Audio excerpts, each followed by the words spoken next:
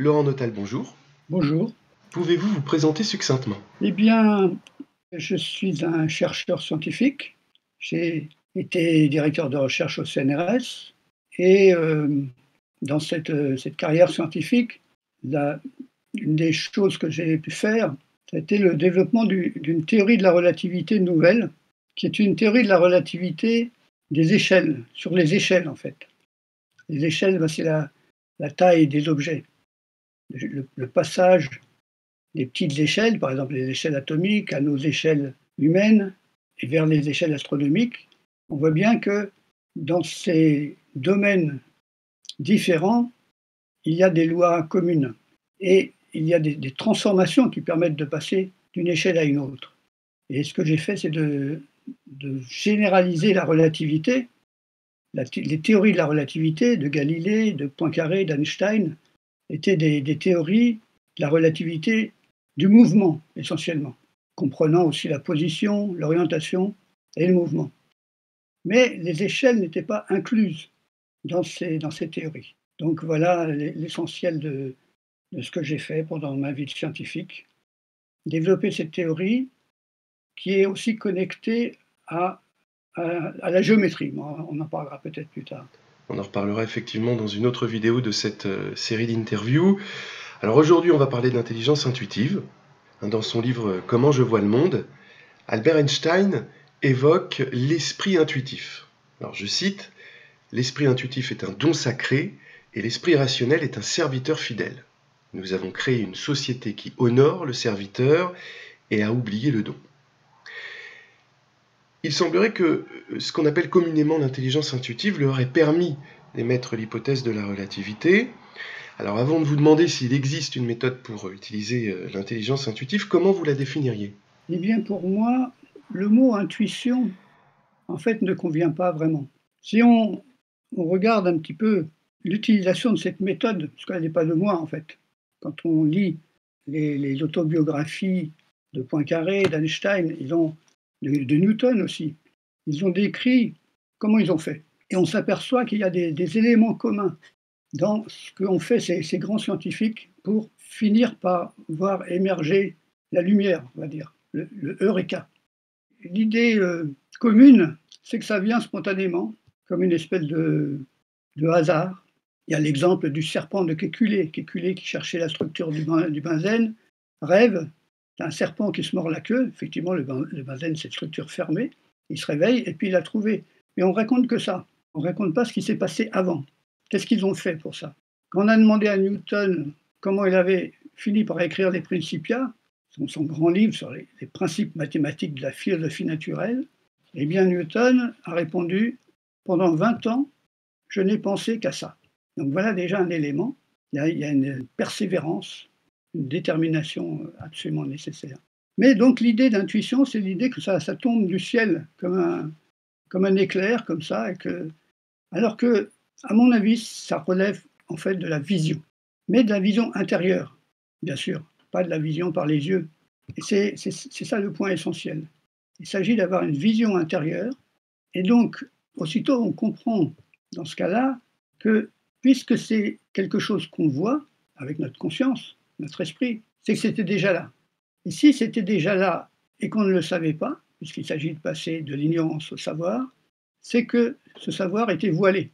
Ça implique vraiment un changement de méthode complet.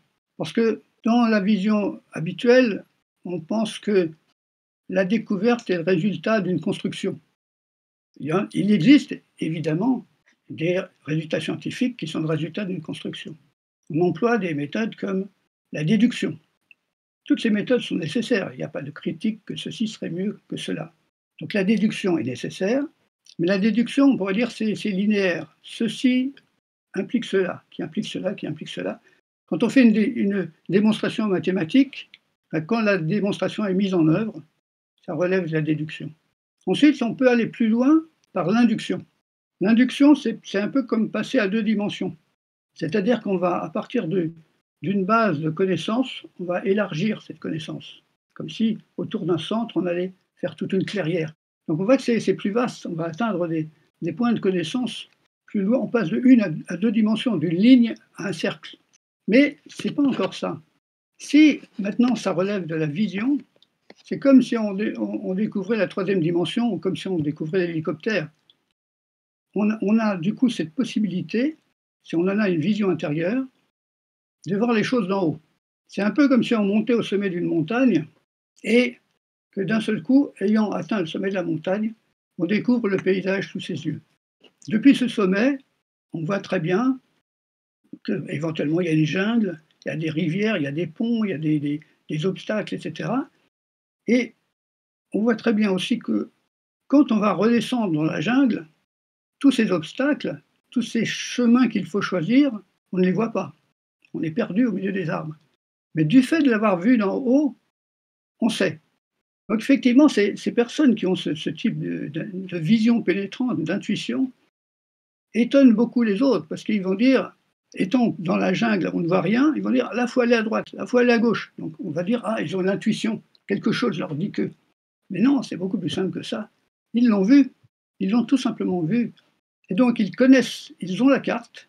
Donc on a vraiment cette, double dimension d'avoir vu les choses en haut et de retourner dans la manifestation, on pourrait dire. Un bon exemple, c'est Poincaré. Poincaré, il cherchait la solution d'un problème mathématique et il a raconté qu'il était, je crois, dans un, je ne sais pas si c'était un bus ou c'était peut-être une voiture à cheval. bref, au moment de sortir, il lève, il le pied pour sortir et tac, il dit qu'il il a tout vu. Mais il le présente vraiment comme une vision. Et il a utilisé le mot vu?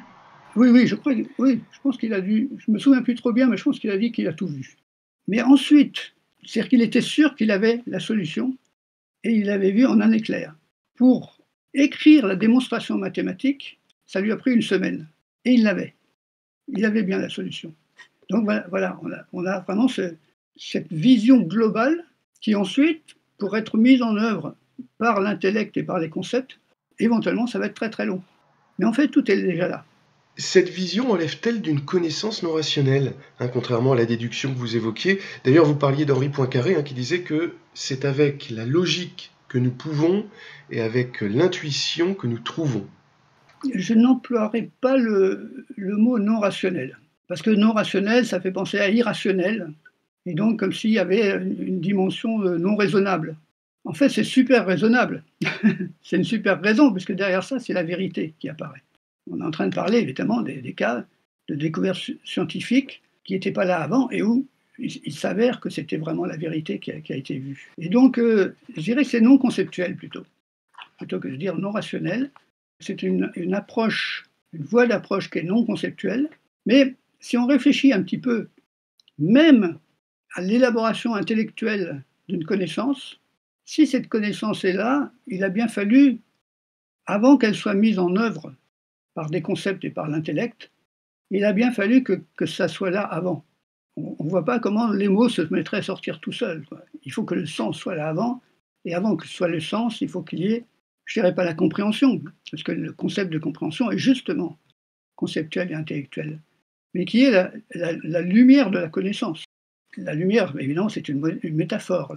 C'est la lumière, justement, cognitive, qui doit être là pour être mise en œuvre ensuite de manière conceptuelle. Mais c'est plus profond donc. Les mots, les concepts ne viennent qu'après et vont en réalité dégrader un peu l'information initiale. Ça, se voit très très bien dans les écrits d'Einstein. Quand on lit tout ce que Einstein a écrit, sa correspondance avec Bessot, eh bien on s'aperçoit que dans ses écrits, il décrit les prémices de ce qu'il a obtenu ensuite. Et ensuite, il y a tous les écrits d'Einstein qui sont les écrits de la théorie scientifique explicite. Mais on s'aperçoit dans ces prémices que les, ses buts, les principes sur lesquels il s'appuyait, la, la, base de ce qu'il voulait démontrer est beaucoup, beaucoup plus large que ce qu'il a effectivement mis en œuvre dans des théories maintenant reconnues. Par exemple, aujourd'hui, mes, collègues dits relativistes, ceux qui travaillent en, relativité d'Einstein, eh bien, il appelle la théorie d'Einstein relativité générale. Ça donne l'impression que, c'est fini, que les théories de la relativité, elle est générale, il n'y a rien d'autre à faire. Einstein n'a jamais vu les choses comme ça. Il l'avait appelée relativité généralisée par rapport à la version restreinte, et il a toujours dit d'une manière très très claire que c'était une théorie provisoire. Vous semblez donc attribuer une limite au concept. Faites-vous une distinction entre le savoir et la connaissance? Bah, C'est un peu une question de, vocabulaire, là, c'est-à-dire de définition. Effectivement, en général, on va plutôt utiliser le mot savoir sous la forme on sait quelque chose. La connaissance peut être considérée comme quelque chose de plus large. Mais ce qu'il y a tout de même, c'est que, en général, que ce soit savoir ou connaissance, on considère que ça fonctionne sous un mode duel. C'est-à-dire qu'il y a un je qui connaît quelque chose. Je sais quelque chose. Or, cette expérience dont on parlait tout à l'heure de, vision intérieure d'une vérité, eh bien, dans cette expérience, quand on regarde justement les, témoignages de, ces grands scientifiques, ça fonctionne sous un autre mode, sous un mode non duel. Ce n'est pas un je qui connaît quelque chose. On est obligé de dire il y a la connaissance. On pourrait dire c'est vu plutôt que je vois ceci. Il y a la vision, il y a la connaissance. Einstein a très très bien expliqué aussi, ben, justement, dans Comment je vois le monde, que pour lui, un des critères justement pour pouvoir faire des découvertes scientifiques, c'était le dépassement de l'ego. Il, le dit très très clairement. Que ça, ne peut être que euh, un esprit qui, qui s'est ouvert à des dimensions beaucoup plus vastes et qui ne raisonne pas en, termes de je veux obtenir cela, je veux trouver ceci, etc. Dans leurs recherches, est-ce que d'autres scientifiques que Kenstein ont revendiqué le recours à l'intelligence intuitive que vous préférez nommer vision? De, toute évidence, beaucoup de scientifiques utilisent ce, genre de méthode, évidemment plus ou moins profondément et sur des sujets plus ou moins profonds. Mais je, je pense qu'un grand nombre de scientifiques, en fait, parce que c'est une expérience commune que beaucoup d'entre eux vont remarquer, en discutant avec mes collègues, c'est quelque chose qui vient assez naturellement, on retrouve un petit peu les, éléments de, cette méthode. Une des choses à faire, c'est vraiment de se mettre à la place de ce qu'on veut comprendre. Il y a une espèce de, de retournement. On pourrait dire c'est comme une sorte d'empathie avec la nature. J'en ai même parlé avec des ingénieurs qui fabriquaient des spectrographes. C'est l'instrument qui, permet d'analyser la lumière en astronomie expérimentale. Et, eh bien, à mon grand étonnement, justement, je leur ai raconté un petit peu ça, comment j'ai essayé de fonctionner pour comprendre quelque chose. Par exemple, un de mes grands sujets, c'était de comprendre quelle est la nature de l'électron. L'électron, c'est pratiquement la principale particule élémentaire, la plus importante, qui concerne la manifestation. Et j'aurais dit, ben, ce que j'avais essayé de faire, c'était de me mettre à la place de l'électron, comme si j'étais l'électron. Qu'est-ce que je verrais Qu'est-ce que je, je vivrais si j'étais un électron? Donc cette interrogation-là, eh bien, c'est quelque chose que j'ai essayé de faire pendant en fait des milliers d'heures. Pour moi, la méthode, c'était m'asseoir dans un fauteuil. Évidemment, avant, il faut apprendre, se renseigner, tout savoir, savoir tout ce qu'on peut sur le sujet qu'on veut étudier. Pour une bonne raison, c'est pas pour apprendre tout ça, c'est pour savoir ce qu'il ne faut pas faire. Parce que si un sujet n'a pas été compris, par exemple actuellement dans la théorie physique telle qu'elle est, l'électron n'est pas compris.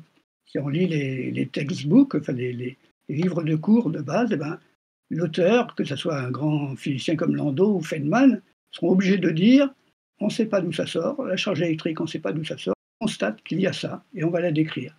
Mais on n'a pas trouvé, dans, ces théories actuelles, de principes fondamentaux qui permettent de comprendre pourquoi l'électron existe.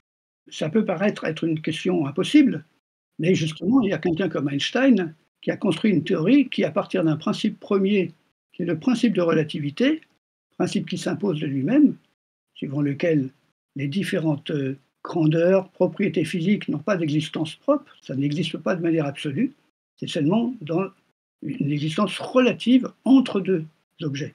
Toutes ces propriétés sont toujours entre deux. Sur la base de ce principe qui s'impose de lui-même, qui est une évidence, eh ben, Einstein a pu comprendre toutes les propriétés de la gravitation, la gravitation elle-même, comme étant les manifestations de cette relativité générale et d'un espace-temps qui est courbe, donc de la géométrie de l'espace-temps. Et donc, on a là une compréhension extrêmement profonde, presque ultime des choses. Pas de manière générale, mais au moins sur ce point particulier. Donc, euh, en, discutant avec ces, avec ces personnes, ils m'ont dit que pour concevoir leur spectrographe, eh bien, ils s'étaient mis à la place des, rayons de lumière qui allaient passer à l'intérieur, des lentilles, etc. Ils ont essayé d'aller à l'intérieur, de le voir depuis l'intérieur. Ce qui est extraordinaire aussi, c'est que cette méthode consistant à se mettre à l'intérieur de l'objet qu'on veut comprendre, elle est reliée directement à la relativité. Parce que la relativité, ça nous dit que tout dépend du système de référence. Toutes les propriétés qu'on observe, la position, le mouvement, l'orientation, l'échelle, dépendent de la référence par rapport à laquelle on va le voir. Et qu'il n'y a en fait que l'interdépendance entre l'objet et la référence qui a du sens. D'ailleurs, on voit tout de suite que du coup, c'est symétrique. Si euh, je suis dans un vaisseau spatial et que je regarde un autre vaisseau spatial dans l'espace vide, il y a juste ces deux vaisseaux spatiaux, eh bien, je ne vais pas sentir de mouvement. Mon vaisseau court sur son air comme ça, et je vais voir l'autre bouger. Maintenant, je renverse la, situation, je suis dans le premier ou dans le deuxième? Chacun des deux ne sent pas le mouvement, chacun des deux pense qu'il est immobile, chacun des deux voit l'autre bouger. Qu'est-ce qui bouge? Rien du tout. Le mouvement n'est qu'une propriété de couple. Ça n'est pas une propriété intrinsèque à aucun des deux vaisseaux. C'est vraiment ça qu'il faut comprendre. C'est l'essence de la relativité. Le mouvement est une propriété de l'ensemble des deux, mais pas de l'un. Souvent, la relativité expliquée, c'est un mouvement par rapport, mais ce n'est pas suffisant. Parce qu'en disant par rapport, on dissymétrise la situation. On dit ça c'est la référence, ça c'est l'objet, mais ils sont interchangeables. Donc c'est ça l'essence de la relativité. Il y a une référence, et parmi toutes les références possibles, il y en a deux types. Parmi toutes les références possibles, il y a les références extérieures. Dans une référence extérieure, eh bien, on verra du mouvement, on verra la position de quelque chose, on verra l'orientation de quelque chose, on verra la taille de quelque chose. Mais maintenant, parmi toutes les références possibles, il y en a une, c'est la référence intérieure, intrinsèque, la référence propre de l'objet lui-même, où c'est l'objet lui-même qui sert de référence. À ce moment-là, si on demande quelle est ma position par rapport à moi-même, aucun sens. Quelle est mon orientation par rapport à moi-même? Aucun sens. Quelle est ma vitesse par rapport à moi-même? Ne pas bouger par rapport à moi-même. Plus rien. C'est ce que dans les enseignements qu'on appelle bouddhistes, les enseignements du Bouddha Dharma, les enseignements du Bouddha, on appelle shunyata, la vacuité. La vacuité, c'est vraiment l'absence d'existence propre de toute chose. Et c'est le fait que quand on se met dans le système de référence interne à un objet, l'objet disparaît. Donc voilà, ça c'est la base, c'est le principe. C'est le principe à partir duquel Galilée, Einstein ont construit les lois de la physique. C'est le principe que j'ai essayé d'utiliser pour construire les lois d'échelle, maintenant, les lois de, la mécanique des échelles et des espaces-temps fractales. Mais c'est aussi le principe qu'on peut utiliser pour la méthode même de découverte scientifique. Pourquoi cela? Parce que, à partir du moment où, au centre de quelque chose, à l'intérieur de quelque chose, eh bien, en se mettant à l'intérieur, la chose disparaît. En sortant de là, la chose apparaît. Et donc, toute la manifestation n'est plus qu'une manifestation du changement de repère. C'est le seul changement de repère qui fait tout, puisqu'il n'y a rien. Donc, il n'y a rien à construire. Toutes les, tentatives de compréhension par la construction, par l'élaboration, ne peuvent pas marcher. La seule chose à faire, c'est dire comment est-ce qu'on change de repère depuis l'intérieur de l'objet vers l'extérieur. Et tout ce qu'on voit, toutes les couleurs, toutes les formes, etc., sont uniquement des effets du fait qu'on voit tout ça de l'extérieur de l'objet. Si on se mettait à l'intérieur de chacun des objets, il n'y aurait rien.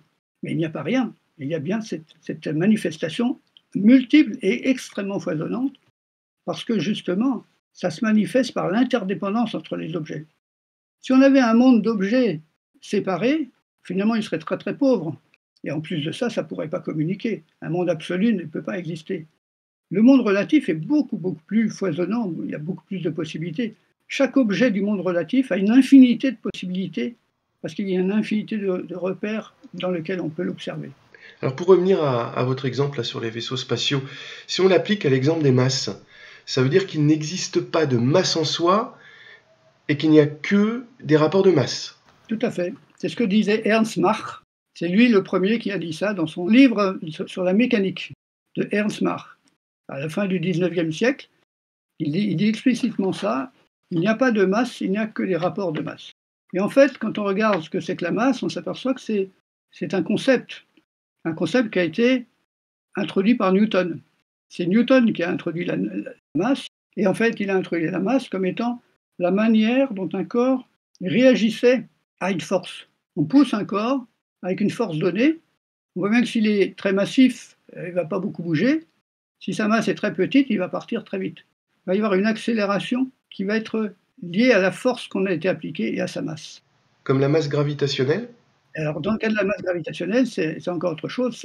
C'est lié maintenant à la forme particulière de la force gravitationnelle. C'est pour ça que du coup, il y a trois masses. Il y a la masse inerte, celle qui réagit justement à la force. Il y a la masse gravitationnelle passive, celle qui va réagir à un champ de gravitation. Et la masse gravitationnelle active, celle qui va créer le champ de gravitation. Dans le principe d'équivalence d'Einstein, ces trois masses sont égales. Il y a le principe d'équivalence faible qui dit que la masse inerte et la masse gravitationnelle passive sont les mêmes. Et ça, ce n'est plus une hypothèse, c'est vraiment quelque chose qui, ressort directement de, la relativité générale elle-même. Puisque la masse la masse gravitationnelle passive, en fait, a disparu. Il n'y a plus que la masse inerte. Par contre, il y a cette question de la masse gravitationnelle active. C'est ce qu'on voit si on prend trois corps. On prend le Soleil, la Terre et la Lune. Eh bien, le Soleil va agir sur la Terre, et là, ce sera la masse gravitationnelle passive de la Terre qui apparaîtra. Mais ensuite, la Terre agit sur la Lune, et ce sera sa masse gravitationnelle active. Donc on a, on a les deux à la fois. Mais on n'a pas encore de preuve expérimentale complète, très précise. On en a une, avec une, précision acceptable, mais n'est pas encore complètement établi. Donc le, point ici, c'est qu'effectivement, on s'aperçoit que la masse est donc définie en fait par des accélérations, et en dernier recours, on s'aperçoit qu'il n'y a pas de mesure directe de masse. On ne mesure pas une masse directement. Elle est toujours mesurée en fait par une distance. Par exemple, on va utiliser une balance pour mesurer le poids dont on, déduira la masse. La balance, eh bien, c'est le, mouvement d'un des plateaux qui va être une mesure. On peut accrocher une masse au bout d'un ressort. Ça va être l'allongement du ressort qui va servir de mesure.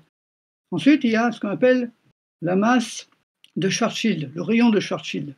Dans la théorie de la relativité générale, la masse gravitationnelle active, quand on regarde les équations d'Einstein et leurs solutions, ça n'apparaît pas en tant que masse, ça apparaît en tant que rayon, que distance. Donc c'est à travers la, constante de gravitation, eh bien, en réalité, c'est bien, bel et bien une distance qu'on voit apparaître dans la théorie. Et puis ensuite, il y a la théorie quantique. Dans la théorie quantique, eh bien, la masse, c'est l'inverse de la longueur de Compton. Encore une fois, c'est une longueur, ou bien de, son équivalent temporel. Donc, en, en dernier recours, il n'y a pas de masse, il n'y a que des rapports de masse. Les rapports de masse sont des rapports de distance.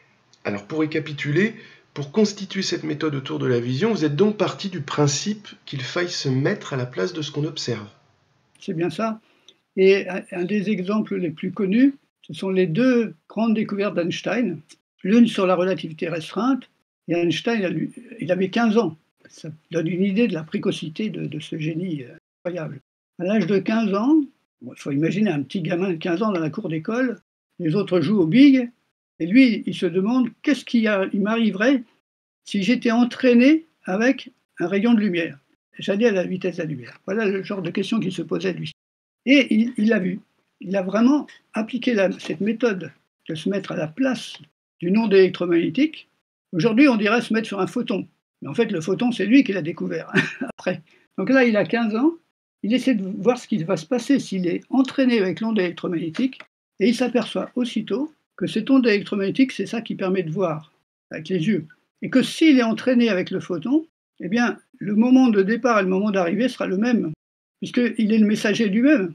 Il n'y a plus un objet et puis un autre objet, c'est lui-même. Et donc, il a vu que si sur une onde électromagnétique, le temps n'existe plus. Le temps propre sur une onde électromagnétique est nul, zéro. Voilà ce qu'il a vu. Extraordinaire. Et quand il a mis en œuvre la théorie de la relativité restreinte dix ans plus tard, euh, vers l'âge de 25 ans, eh bien, la formulation mathématique qu'il en a faite a mis en œuvre exactement cette intuition. C'est pas quelle intuition, puis après on fait autre chose. L'essence de la relativité restreinte, c'est ds égale 0, ds étant l'intervalle de temps propre pour le photon, pour la lumière. Et ce temps propre ne varie jamais. La lumière, de son point de vue, arrive au même moment où elle part. Il faut, comprendre ce que ça veut dire. Quand on dit que la lumière est partie il y, a, il y 13 ou 14 milliards d'années, eh bien, du point de vue de la lumière, du, photon qui est parti là et qui arrive maintenant chez, nous, sur notre télescope, le temps écoulé est zéro. Elle arrive exactement au même moment où elle est partie. Et, donc, voilà comment cette, cette, manière de fonctionner, de vision intérieure, justement, c'est. Parce que Einstein, pour voir ça, n'a pas regardé la lumière. Il s'est renseigné sur ce que c'était. Il a appris effectivement les théories de Maxwell, etc., à 15 ans. et du coup, il s'est mis dessus et il a vu la chose.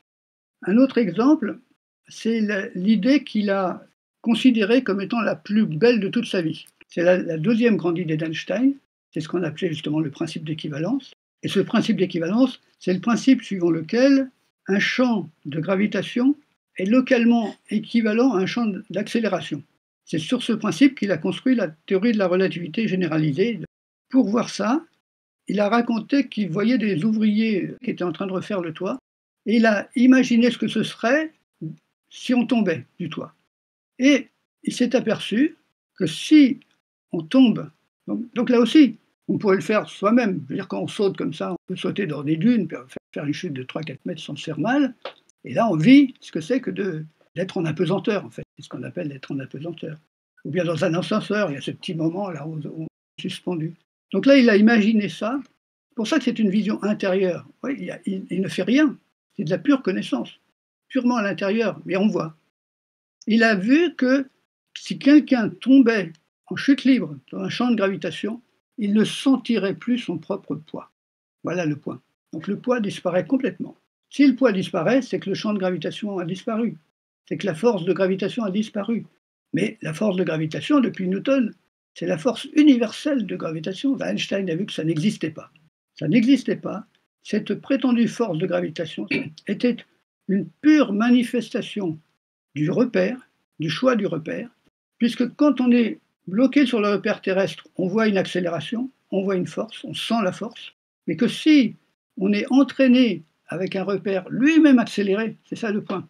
Le point, c'est de se donner le droit de prendre comme système de coordonnées, comme système de référence, un repère accéléré. Avant, les physiciens ne se donnaient pas ce droit-là. Un système de coordonnées, un système de référence inertiel, immobile ou en mouvement à vitesse constante. Einstein se dit, mais pourquoi ne pas en prendre un accéléré? Et donc la gravitation est totalement relative, la géométrie est totalement relative, la, la force est totalement relative. Ce que je trouve extraordinaire là-dedans, c'est que la méthode de découverte, c'est la relativité-vacuité, et que le résultat, c'est la relativité. Cet exemple des ouvriers, hein, la perte de la sensation de son propre poids lorsqu'on chute, pour vous, c'est donc une preuve qu'il n'y a pas d'existence propre, mais seulement des existences de nature relative. Absolument. Absolument, c'est, tout à fait semblable au fait que quand on est en, mouvement à vitesse constante, on ne sent pas le mouvement. Et ça, ça remonte à Aristote. Le bateau de, Copernic, c'est devenu, c'est le bateau d'Aristote qui est devenu le bateau de Copernic, puis le bateau de Galilée. Aristote avait déjà remarqué que si on est dans un, navire qui court sur son air à vitesse constante, eh bien, on ne saura pas si on est en mouvement ou, pas. On est dans la cale du navire, voilà, c'est éclairé, tout est normal. Par contre, dès qu'on ouvre un hublot, on voit la, rive défiler, on se dit, il y a bien du mouvement. Aristote en avait déduit qu'il était difficile de détecter le mouvement, mais il ne l'avait pas mis en cause. Ensuite, Copernic a utilisé ça pour dire, mais il est tout à fait possible que la Terre tourne autour du Soleil, parce que si la Terre tourne autour du Soleil, on ne sentira pas le mouvement de la Terre. Parce que ça, c'était le contre-argument de tous ceux qui disaient c'est impossible. La Terre est forcément immobile puisqu'on ne sent rien. Et Copernic dit, mais regardez, Aristote lui-même nous dit qu'on sent rien. Mais c'est pas encore ça. C'est Galilée qui a trouvé vraiment le truc. Galilée, il a dit, je me mets à l'intérieur d'une cale de navire et je fais toutes les expériences possibles. C'est très amusant de le lire, Galilée, parce qu'il dit Je fais courir des araignées, voler des mouches, tomber des corps. Il imagine toutes les sciences possibles et imaginables. Et je fais la même chose dans un laboratoire qui est sur la berge. Dans chacun des deux laboratoires, on ne sent aucun mouvement. Il n'existe aucune expérience qui puisse nous dire qu'on est dans le bateau ou sur la berge. Impossible, il n'y en a pas. Par contre, dès qu'on ouvre un hublot et qu'on regarde, qu'on regarde le bateau depuis la berge ou qu'on regarde la berge, on verra la berge défiler ou le bateau. Conclusion, le mouvement n'existe absolument pas en soi. Galilée dit le mouvement est comme s'il n'était pas. Comme s'il n'était pas. Le mouvement est comme rien. Ces expressions sont extraordinaires parce qu'on les retrouve mot pour mot chez un grand philosophe indien bouddhiste qui est Nagarjuna du deuxième siècle après Jésus-Christ. Ça peut être avant même, autour de autour d'il y a 2000 ans. Donc, euh, on est 1600 ans avant Galilée, et il dit exactement les mêmes mots. Galilée n'a certainement pas connu les écrits de Nagarjuna, mais ils ont été amenés à l'exprimer exactement de la même manière. Et Galilée rajoute Nous érigerons en principe, le principe de relativité, ce n'est pas un principe qui a été construit sur la découverte de Galilée ou d'Einstein, c'est un principe que Galilée a construit. Il dit explicitement Nous érigeons en principe le fait que tous ceux qui participent au mouvement, le mouvement est totalement indiscernable. En fait, il n'y a pas de mouvement absolu. Le mouvement n'est pas une qualité intrinsèque d'un corps, il n'y a que des intermouvements. Et euh, justement, dans les enseignements du Bouddha, c'est ce qu'on appelle l'interdépendance. Donc on voit tout de suite que l'interdépendance, la relativité et la vacuité, c'est la même chose. Parce que cette interdépendance, c'est qu'il n'y a aucune propriété de, de, chaque corps en soi. Il n'y a que des interpropriétés. On ne devrait pas parler de position, mais d'interposition. Pas de vitesse, mais d'intervitesse, etc., etc. Alors ça fait trois fois que vous vous référez à la culture hindouiste ou à l'enseignement du Bouddha. D'ailleurs, euh, Albert Einstein y fait aussi référence hein, au, Bouddha, euh, toujours dans ce livre Comment je vois le monde. Cette relativité des phénomènes et de l'existence, on ne la retrouve pas dans l'hindouisme?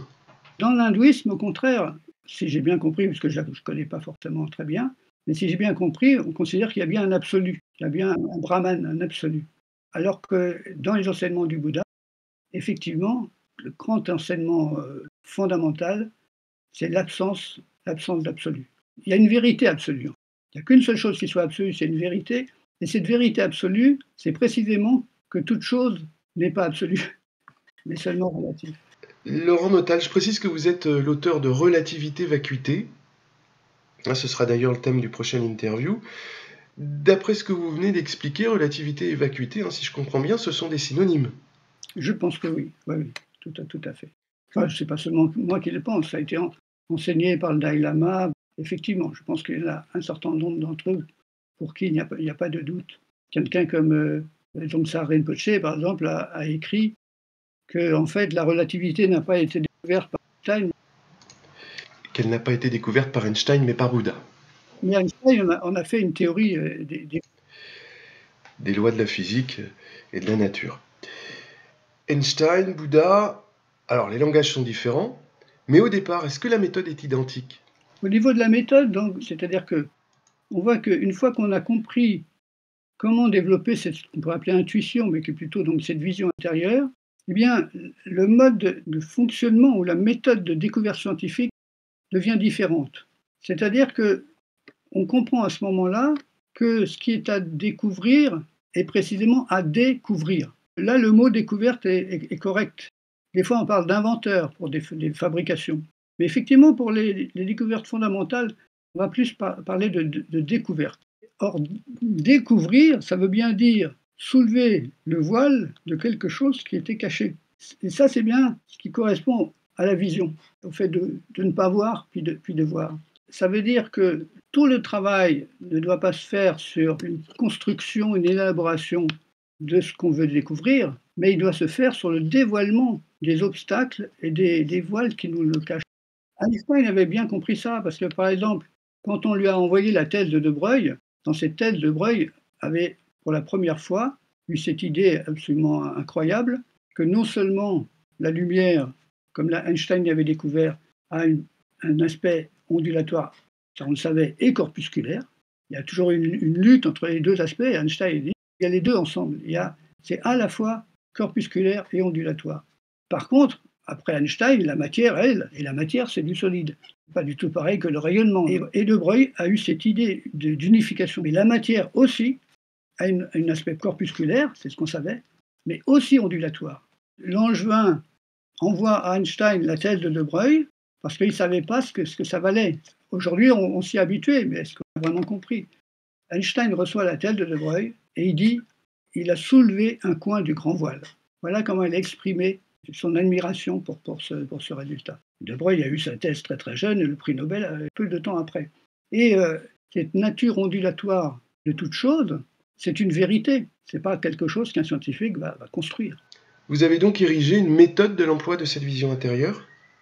En fait, euh, je ne peux pas dire que j'ai inventé cette méthode. D'avoir identifié que tous ces, grands découvreurs ont utilisé des méthodes communes. Il y a, une, chose que beaucoup de personnes savent, c'est que après avoir réfléchi à quelque chose, en général, c'est pas suffisant. C'est comme si on avait fait chauffer la machine et, rien ne vient. Il y, a, des espèces de, périodes vides. Et l'expérience commune, c'est que souvent le, eureka, cette espèce de, lumière comme ça, de, clarté soudaine, apparaît après une pause. C'est vraiment l'expérience souvent de, quelqu'un pendant le sommeil. La personne a cherché, cherché, n'a pas trouvé, elle va se coucher. Le lendemain matin, ouah, j'ai trouvé. Et dans le domaine de la création artistique, beaucoup d'artistes hein, ont décrit ce processus, le désert, et puis une forme de renaissance de la créativité. C'est la même chose? Mais bien sûr, c'est quelque chose qui est commun à toute, toute créativité, exactement. Ce n'est pas du tout réservé aux scientifiques. Encore une fois, je pense que la raison, c'est que ça, relève justement de, la vision intérieure. L'artiste aussi va avoir une idée de, de, ce qu'il veut construire, un musicien aussi, et, à un moment donné, ça devient clair. Et cette clarté apparaît très souvent après avoir lâché. Il faut qu'il y ait une sorte de lâcher prise, de laisser tomber. Je pense que c'est encore une fois une preuve indirecte, mais une preuve du, fait que ça n'est pas conceptuel. Tant qu'on essaie de, de, comprendre, de savoir, de trouver, de fabriquer, on est dans les concepts. Or, la lumière, elle n'est pas conceptuelle.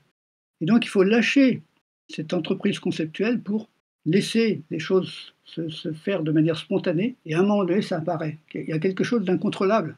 Il faut cesser le contrôle, justement.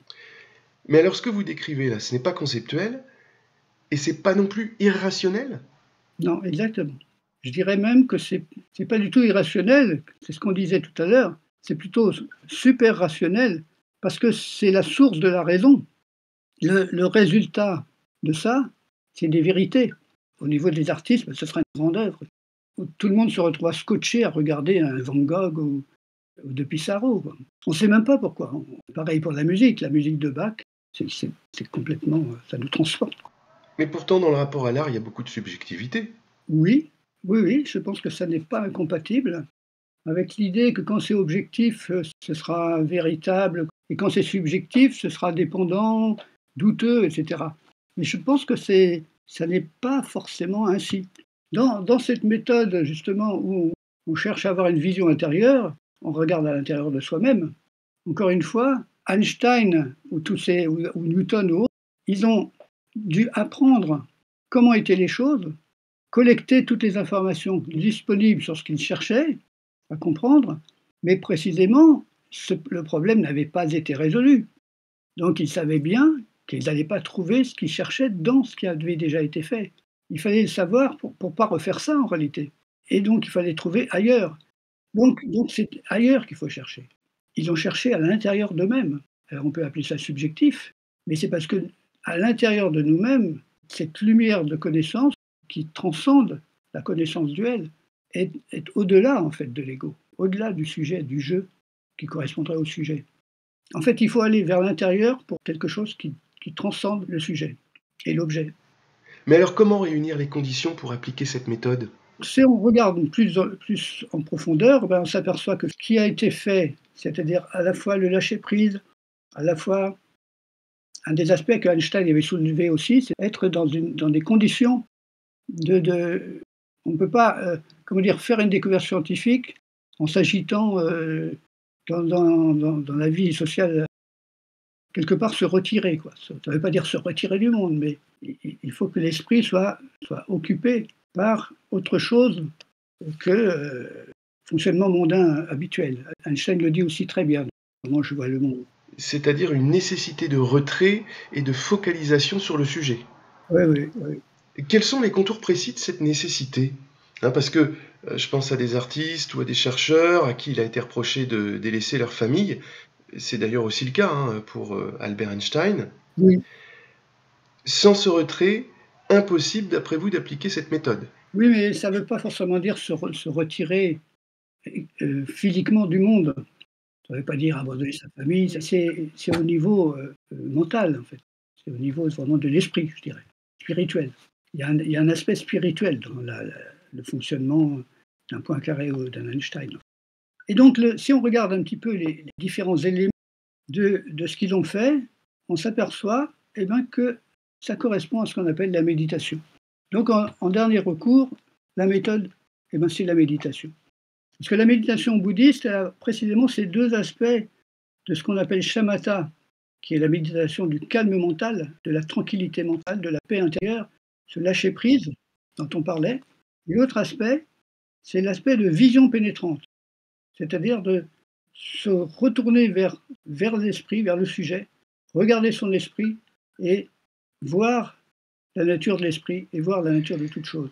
Donc pour récapituler, première étape, le calme de l'esprit et ensuite le lâcher-prise hein, qui peut conduire à cette euh, vision pénétrante. Il y a une différence entre euh, vision pénétrante et vision intérieure? Non, c'est la même chose. C'est la même chose, c'est juste un nom différent. C'est effectivement dans la méditation bouddhiste, c'est traduit par vision intérieure, vision pénétrante, vue profonde.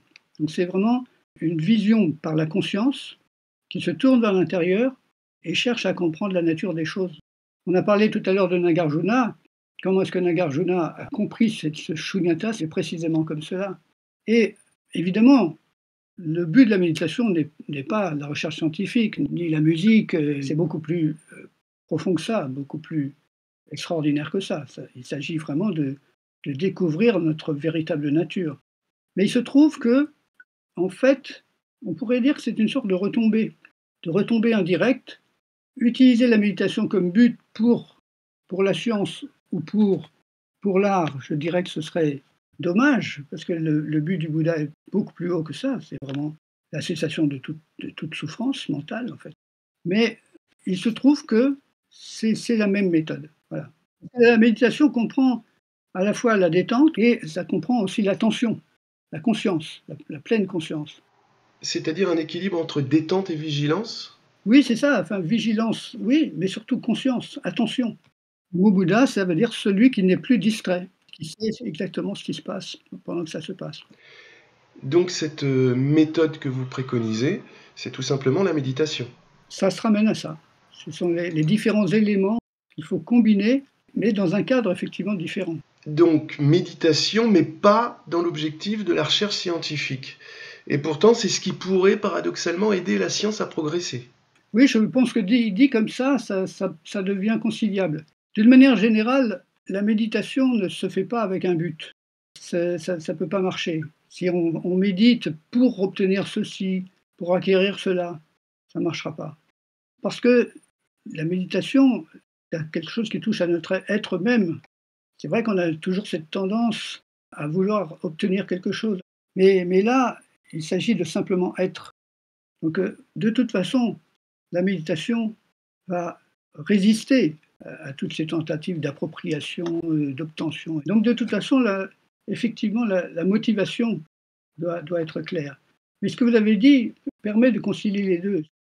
Développer des connaissances scientifiques pour aider les autres, pour améliorer la vie des autres, pour développer la, compréhension qui est toujours bonne, toujours positive.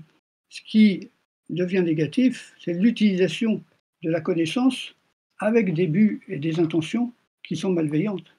Mais la connaissance en elle-même est toujours positive. Mais alors, qu'est-ce qui est malveillant? Par exemple, vouloir découvrir une vérité, une loi de la nature pour qu'elle porte son nom, est-ce que c'est une forme de malveillance? Non, bien sûr que non. Disons que vouloir découvrir une vérité, comme je l'ai dit tout à l'heure, à mon avis, c'est toujours positif. Par contre, dans la science, il y a effectivement les deux aspects, de développer les connaissances et d'agir. Comment est-ce qu'ensuite on va utiliser ces connaissances, qui sont souvent plutôt du domaine de la technologie que de la science elle-même? L'exemple, ce sont les armes nucléaires. Rien ne, s'oppose à ce qu'on sache comment fabriquer une arme nucléaire. Mais ayant cette connaissance, on doit aussi développer la connaissance de cette arme nucléaire, qui est une autre connaissance. Et la somme de ces deux connaissances, on sait comment le faire, on en connaît les conséquences, devrait avoir pour résultat de s'interdire d'en fabriquer. Et c'est un petit peu ce qui s'est passé, malheureusement pas complètement. Au début, les armes nucléaires ont été fabriquées, on connaît les circonstances, mais ensuite, il y a eu cette compréhension que les bombes H avaient des, conséquences planétaires, étaient totalement inutilisables, parce que si quelqu'un envoie une bombe H, eh bien, les effets de sa bombe autant que celui qui va la recevoir. Parce que ça crée un univers nucléaire, on le sait maintenant. Et donc, euh, le résultat de ça, c'est qu'avec cette nouvelle connaissance, eh bien, on s'interdit de le faire, on s'interdit de les employer, normalement. Mais, mais, pour moi, la connaissance est toujours bonne parce que c'est elle qui va permettre de développer l'éthique. La science doit être accompagnée de l'éthique. C'est la compréhension encore, c'est la connaissance qui va nous faire comprendre qu'on n'a pas à, utiliser certaines choses. Dans votre carrière de chercheur, euh, cette vision intérieure vous a-t-elle aidé dans certains travaux? Pour moi, c'était la grande méthode. Maintenant, reste à savoir si j'ai su l'utiliser, si ce que j'ai fait euh, va rester ou pas. On, emploie la méthode. On a parlé effectivement de Newton, de Poincaré, d'Einstein, parce qu'eux, ils ont employé la méthode et ils ont réussi. Ça a marché. Maintenant, il n'y a pas de garantie. Est-ce qu'on aura vraiment cette vision intérieure? On aura été capable de, soulever ce, voile de l'inconnu, de l'ignorance. Laurent Notal, merci. Merci.